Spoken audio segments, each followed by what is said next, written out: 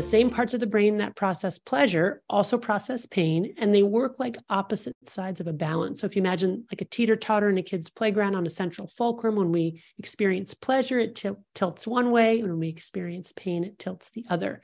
There are three rules governing this balance. And the first rule is that the balance wants to remain level, or what neuroscientists call homeostasis so that with any deviation from neutrality, whether, whether to the pleasure side or the pain side, our brains are going to work very hard to restore a level balance.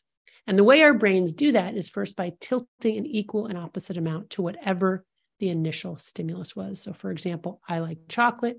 When I eat chocolate, I release a little bit of chocolate dopamine in my reward pathway. My balance tilts just slightly uh, to the side of pleasure. But no sooner has that happened than my brain adapts to that increased firing of dopamine, not just to baseline, but below baseline.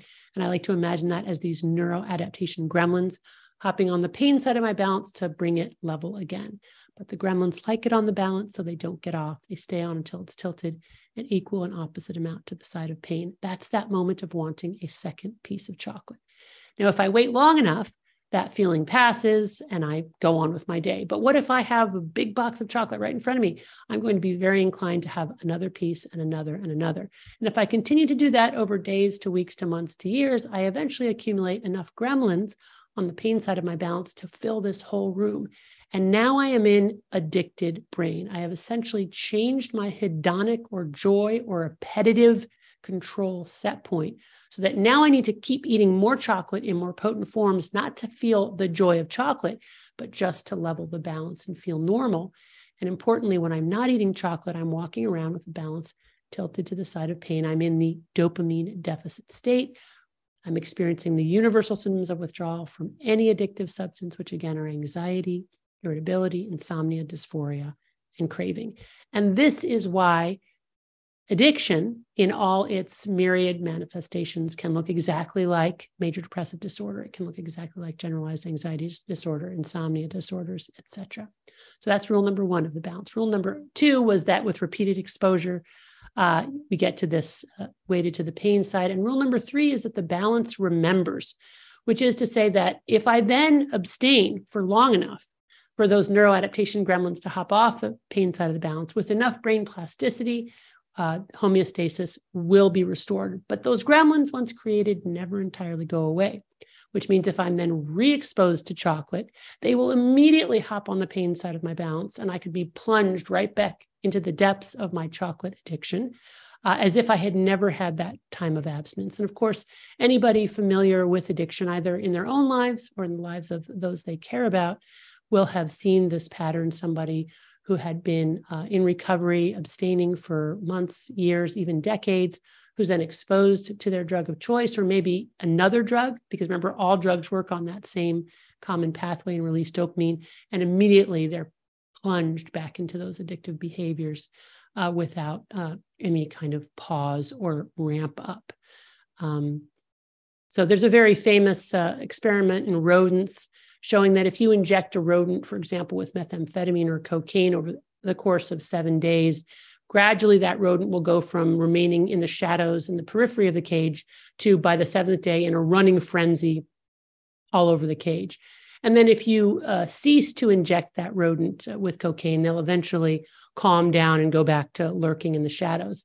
If then you wait an entire year, which is a rat lifetime, and then re expose that animal with a single injection of cocaine, what you'll see is they're immediately in a running frenzy, suggesting that uh, the process of change wrought by exposure to the intoxicant uh, leaves some kind of permanent scar or echo that uh, can resurface with re exposure that's fascinating, but also quite scary as well. Um, so addiction, am I right in addiction actually changes the the neural circuitry of the brain? The phrase you use in the book is hippocampal hippocampal tattoos, which I thought was quite clever. Um, but yeah, how does addiction actually change the brain?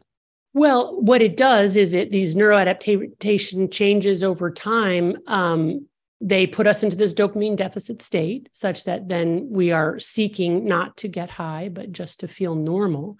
Um, but even then, you know, once we uh, abstain, if we're able to get into recovery and abstain and reset reward pathways and restore homeostasis, that means that we are at increased vulnerability probably for the rest of our lives for not just getting addicted to that substance again, but getting addicted to other things more easily. This is often referred to as cross addiction.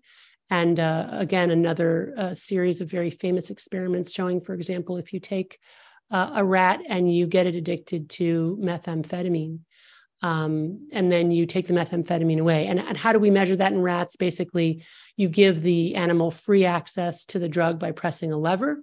Um, and rats will typically, if they become addicted to the drug, they will either press that lever to exhaustion or uh, press that lever until they die. Um, so, um, what happens then if you then take that drug away and again wait some long period of time and then re-expose that animal to something like cannabis that animal will get addicted to cannabis much more quickly than um, an animal who had never been exposed to cocaine the idea being again that once we've been addicted to one thing it fundamentally changes our addiction vulnerability to all kinds of drugs